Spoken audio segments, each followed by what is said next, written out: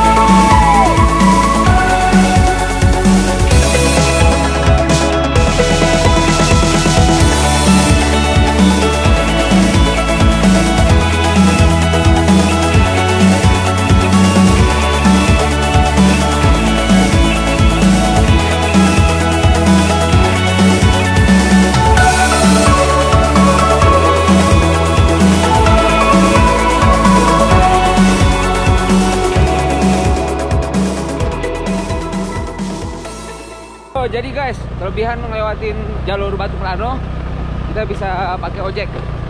Pakai ojek sampai ke dekat Pasenggrahan. Jadi buat kalian yang nggak pengen terlalu capek, pengen santai, bisa coba akses menuju Merapi melalui Batu Plano. Jadi kalau kita lewat Batu Plano, bisa naik ojek sampai di sini nih. Ini pos BSDA.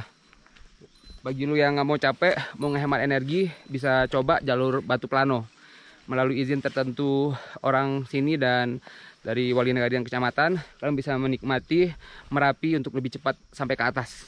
Oke. Sekarang kita akan menuju Pasenggrahan. Dari sini ke Pasenggrahan dekat banget, paling 15 sampai 20 menit. Oke. Sekarang kita ngelewatin jembatan menuju Pasenggrahan. Ini dibuat dari bambu nih, disusun semua.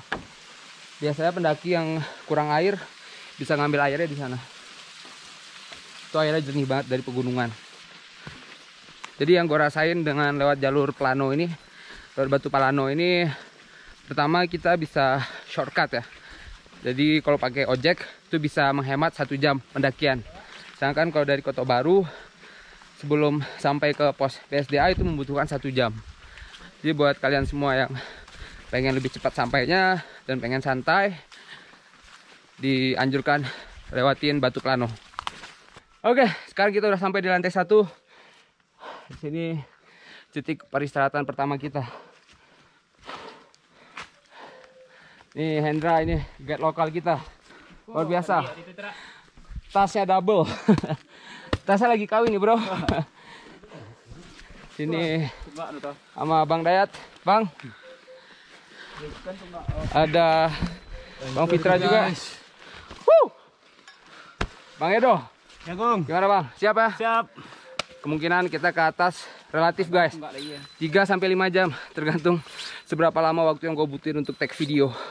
Oke, let's go. Bang, aman bang? Alhamdulillah, aman. Jadi Bang Fitra ini pendaki Gunung Sejati nih. Next ke gunung apa bang? Rinjani, Rinjani apa? Tambora, Wis. Lombok, Sumbawa. Gua tunggu di Labuan Bajo bang. sip. Oke.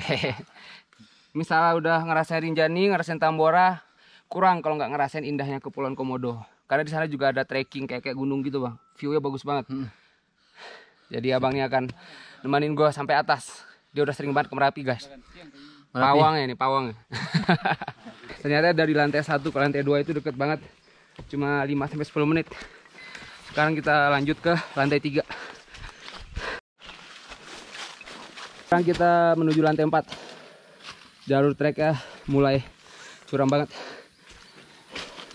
Di jalur itu kayak ngeliatin banyak akar-akar pohon gitu guys. Nah ini kalau hujan biasa banyak air nih.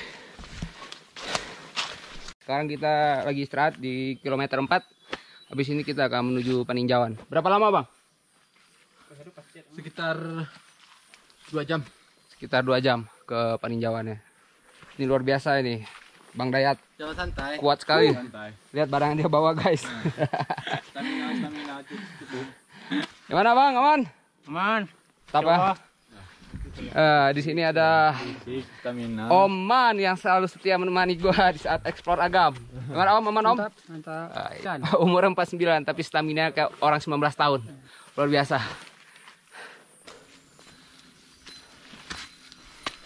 Sini kayak hujan udah mulai lebat. Jadi di sini kita kayak istirahat dulu bentar sambil makan siang. Sini Bang Dayat coba buat panjat pohon biar bisa ngikat terpalnya. Jadi kita nggak basah guys. Soalnya gue juga bawa kamera sama baju-baju kita nih takut basah semua. Sini hujannya udah mulai lebat. Doakan guys semoga di atas eh, aman dan hujannya cepat berhenti. Yo guys, ini cuaca benar-benar nggak bisa ditebak. Hujan lebat banget. Di sini ada Bang Fitra dengan mantelnya. mantel lucu banget bang. Ini gampang dilihat nih mantel kayak gini nih. Ini kita lagi ngurus barang-barang nih biar nggak basah.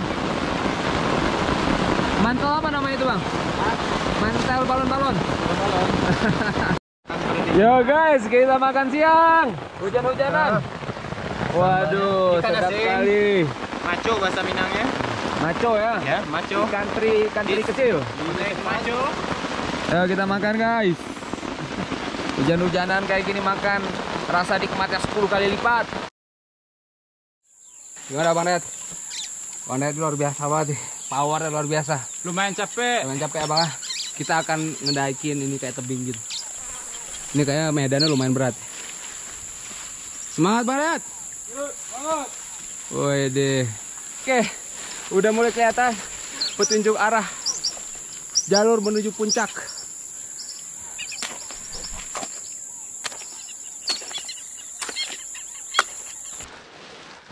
Oke, karena udah jarang dinaikin perihal PSBB Corona kemarin, ini udah mulai tumbuh rumput sama semak belukar gitu. Sebenarnya puncaknya udah mulai kelihatan di atas sana. Nah, di sini biasa ada yang jualan di warung.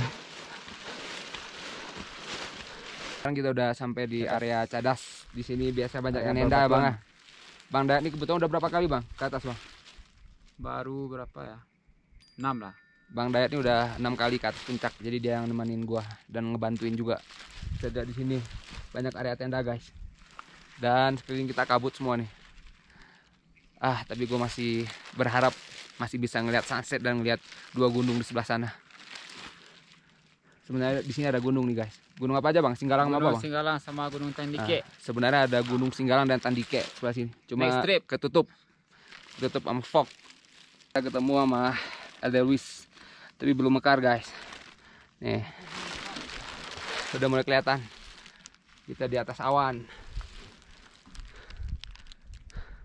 Oke, sisa satu jam lagi, guys. Kita bakalan sampai puncak Merpati. Di sana gue bakalan terbangin drone dan ngeliatin indahnya sunset dari puncak Merapi. Semoga nggak hujan guys. Kabutnya datang lagi guys. Pada saat itu lumayan terang. Sekarang kita dipenuhi sama kabut. Naikin kayak bukit kerikil-kerikil gitu, banyak batu-batuan. Ini area cadas. Kemungkinan setengah jaman lagi lah kita nyampe puncaknya. Lihat medannya di sini.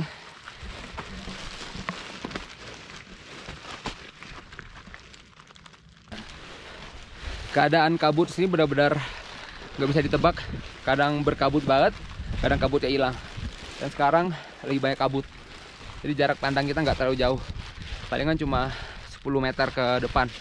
Di sini medannya berbatu-batu. Jadi lumayan licin juga. Harus ekstra hati-hati. Ya akhirnya kita udah sampai di Tugu Abel. Di sini udah mulai kelihatan banyak view. Cuma lagi kabut aja guys. Tapi yang bikin gue senang di arah puncak Merpati itu kayak cerah guys. Langitnya biru. Semoga kita bisa dapat sunset yang indah. Ih, kita dipenuhi sama kabut dan kita nungguin sih biar kabutnya hilang biar bisa ke puncak Merpati.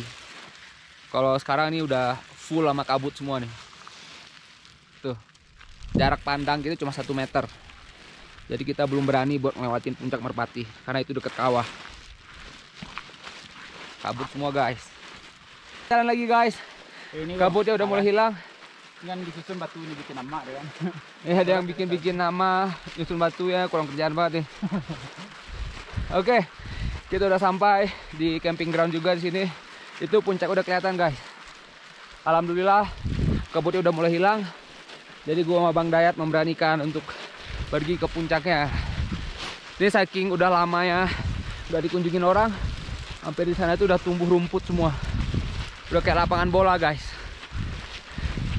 Oke, guys. Udah mulai kelihatan kawahnya dan itu puncaknya, guys. Alhamdulillah hujannya berhenti.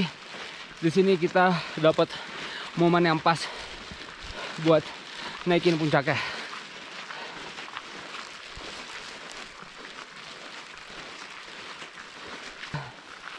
Oke guys, kita semakin dekat sama puncaknya dan kita dapat kabut lagi guys.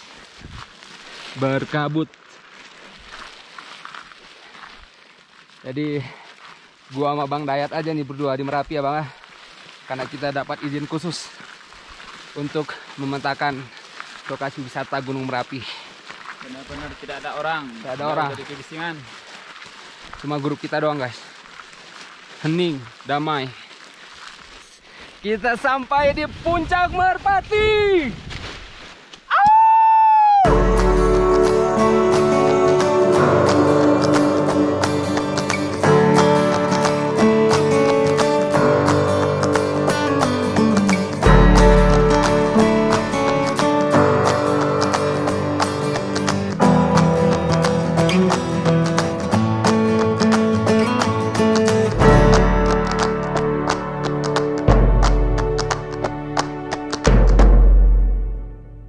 Udah jam 7 malam.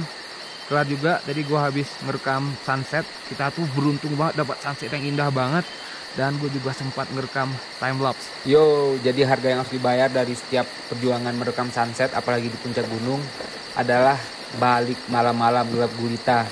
Untung kita semua udah sediain center sama headlamp dan kita kembali ke tenda. Selamat pagi guys. Pagi yang cerah di puncak Merapi. Jadi semalam kita nendaya di sini. Sudah di sana guys.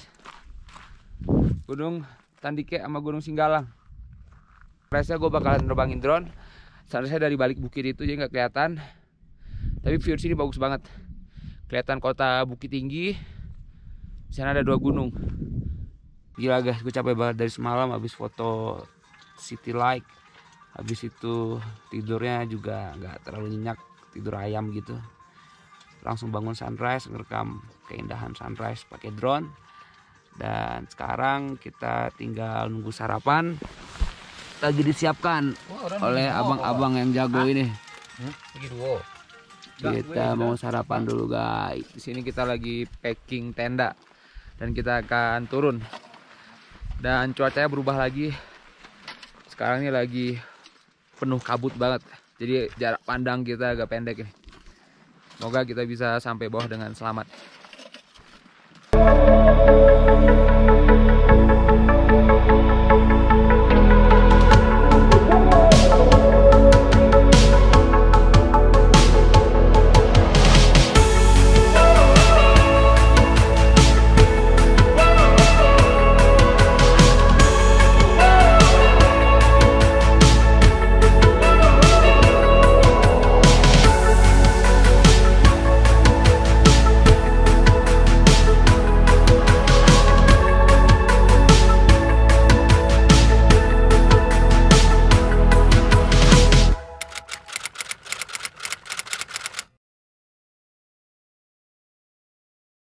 Oke Nya, terima kasih sekali nih udah ngantar Agung sampai ke Pasenggerahan.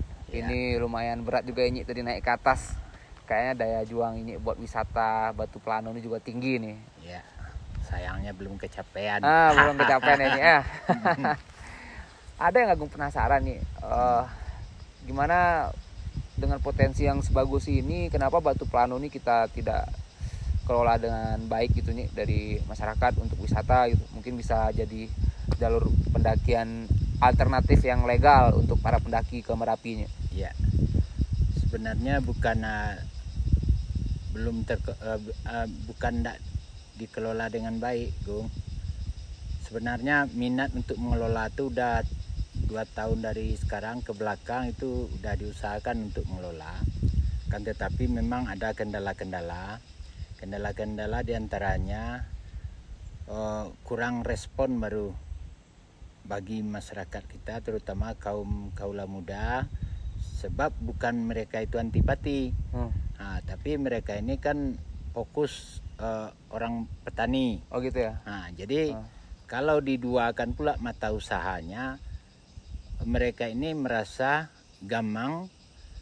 Kalau ini dikejar ini belum jelas. Oh gitu. Ah, nanti kalau udah diburu lagi yang satu, belum tentu dapat. Ah, Ah. takut mengorbankan Ah, yang takut perkebunan ini ya, yang- pertanian yang ini ya. Pertaniannya Ya. ini. Sebab dari sektor apa pun, dari pertanian pun kita bisa buka itu. Kalau andai kata wisata di Batu Plano, pendakian, minat khusus itu terabas, kemudian agrowisata dan lain-lain yang bisa kita akses dan kita gali potensi yang ada di Nagari Batu Plano mungkin pada suatu saat nanti harapan kita dengan masyarakat dapat menambah masukan ekonomi dan dapat mengembangkan eh, usaha-usaha lain oleh masyarakat itu sendiri. Itu harapan kita, Bung.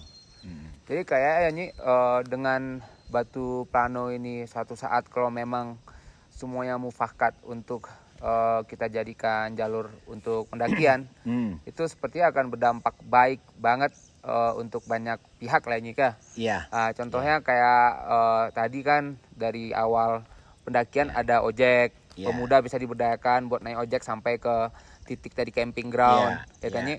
Belum lagi mungkin dengan mengikuti beberapa norma-norma tertentu, contohnya yang Ya. bukan muhrim nggak boleh di satu tenda. Ya. Mungkin yang mudarat-mudarat ini bisa dikurangin ya Nyi ya. Eh, kalau terkelola secara baik, itu otomatis kan ada kesepakatan dulu. Kesepakatan ini kalau ini rasa lambat laun ini mungkin bisa dicapai. Sekarang yang penting kita berjalan secara perlahan, lambat, dan sambil jalan kita memasukkan, eh, kita adakan pemasukan cara ber, eh, cara berwisata ini ke masyarakat Batu Plano. Jangan melulu pemikiran masyarakat itu berpandangan negatif akan wisata. Ya, jadi Nah. wisata itu bukan berarti maksiat ya Nyi ya. Bukan berarti Ya. maksiat. Eh, kelanjutannya daripada itu tentu kita perlu aturan-aturan dan norma-norma yang perlu kita jadikan suatu peraturan di negari itu sendiri. Kemudian masyarakat yang berkunjung tentu mau tak mau dia ikut aturan yang ada di Oke. lingkaran negari itu sendiri. Baik secara adat dan budaya, secara keagamaan, secara eh, pemerintah. Ini masyarakat kan sekarang rasa ndak berpikir eh, anu lagi, ndak apa namanya ini? Bukan terkebelakang lagi pemikiran Ya. masyarakat. Masyarakat sudah cukup maju. Hmm. Cuma ada di antara masyarakat-masyarakat tentu ada kurangnya. Masih ada yang agak-agak rada komplain lah gitu. Ah, ya. Tapi itu secara perlahan nanti kita akan coba terobos. Mudah-mudahan harapan kita ke depan Batu Plano ini bisa menjadi sebuah tujuan wisata yang baik, alami, agama agamais dan eh, syar'i lah itu. Amin, insya Allah, insya Allah. Ya. Karena gitu guys, dari pengalaman gue mengembangkan wisata, pariwisata itu menggerakkan banyak sektor. Jadi bukan hanya satu atau dua orang yang mendapat untungnya, tapi dari masyarakat lokal juga akan mendapat untungnya. Contohnya dari tukang ojek buat sampai ke titik camping ground. Terus nanti juga akan menggerakkan ibu-ibu desa di sini buat berjualan, buat sarapan dari wisata itu dan eh, pemuda, ada wali negari dan semua masyarakat juga bisa bermufakat untuk membuat satu peraturan di mana setiap orang yang naik ke sini mengikuti norma-norma yang berlaku di Nagari itu. nagari itu sendiri. Gitu ya, Nyi ya. Iya. Semoga ke depannya Batu Plano bisa berkembang dan secara perlahan juga eh, masyarakatnya semakin kompak dan melalui kepemimpinan ini wali nagari wisata di Batu Plano ini bisa menghidupkan eh, banyak masyarakat di sini dan bisa memperbaiki perekonomian di sini dan akan berdampak baik ke keturunan keturunan ber- berikutnya. Sehingga Batu Plano ini menjadi salah satu eh, pilihan orang untuk naik ke Merapi dengan akses yang sangat bagus dengan jalan yang udah oke. Jadi ini bisa eh, di menjadi pilihan buat orang-orang yang nggak mau terlalu capek bisa pakai ojek sampai ke camping ground dan ke Pasenggerahan ini dekat banget cuma kisaran 15 menit. Dan dari sini ke atas puncak hanya tiga jam ya Nyi, ya? Tiga jam itu bagi yang kuat.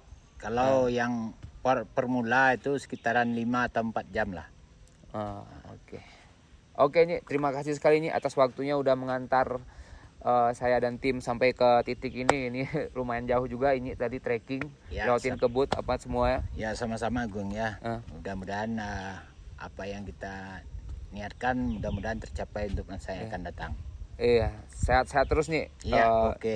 mungkin hari Senin kita akan mulai pendakian, ke Pendakian, atas. ya. Eh, Ya. kita dan tim mohon eh, izin dari ini ya oke. Saya dan tim mohon izin dari ini untuk mendaki ke puncak Merapi untuk mensurvei lokasi wisata di atas. Ya dan semoga nanti foto-fotonya berguna untuk desa Batu Plano dalam pemeta- pemetaan wisata. ya oke Gung terima kasih sama-sama. Ya. Oke nih, terima kasih nih. ya